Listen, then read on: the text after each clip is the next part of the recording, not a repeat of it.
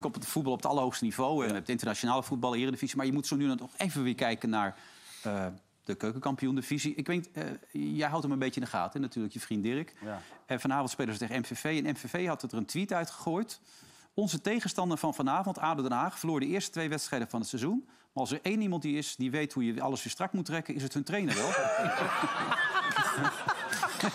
We moeten dus op onze hoede zijn.